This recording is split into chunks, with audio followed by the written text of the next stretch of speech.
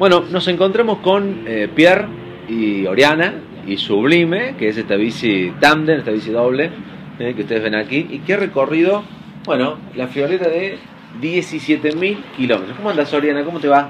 Muy bien, gracias. Bueno, en Jesús María, contar a la gente eh, un poco cómo arranca este, este viaje que decidiste hacer a tus 25 años. Ok. Em, entonces, he empezado al Canadá hace un año, desde agosto del año pasado, ujú. y he cruzado todo el continente américo, América. Perdón. Em, entonces, Estados Unidos, México y toda América Central y América del Sur. Y aquí estoy en Argentina, con destino final Córdoba. Y bueno, ¿Cuánto ha demandado este viaje? ¿Cuánto tiempo? como un año. Un año. Sí. un año.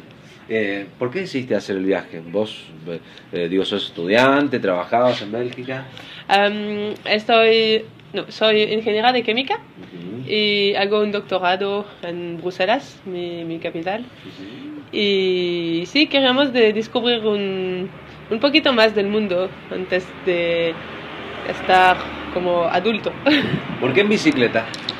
Porque tiene una ve- velocidad de humano, como puede, puede parar cuando quiere, puede hablar con la gente, no hay, como no hay una puerta o algo eh, que te separa del mundo.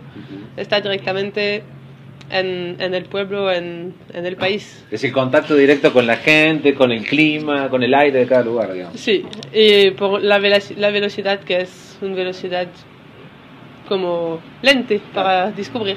Te permite apreciar todo. Exactamente. Todo el frío también. Eh, sí, me imagino. Han elegido una época, bueno, ah, han pasado por todas las estaciones, ¿no? sí, claro. Como en Canadá fue verano y después México fue invierno, pero invierno de México Claro. es muy caliente. Más tropical, digamos. Sí.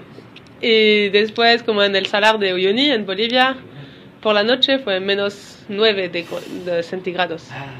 Tremendo, claro. Bueno, me imagino que paraban, obviamente, a dormir, ¿no? Sí, Sí, sí, sí. Eh, ¿En qué dormían? ¿En carpa? ¿En algún hotel? un poquito de todo, como carpa por la plaza principal o la estación de bomberos, la policía, algunos hostels cuando queremos una ducha bien caliente o una, una cama.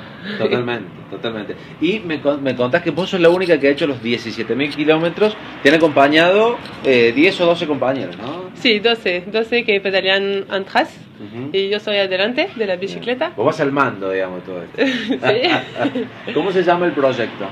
Uh, come back to Earth, Es ¿Qué en inglés. significa, digamos? Uh, que significa como mm, regresamos con bici a la tierra, más o menos. Bien, Bueno, que sea con mucha suerte y ojalá que, bueno, que recuerdes todo este viaje cuando llegues a, a Bélgica y termines tu doctorado.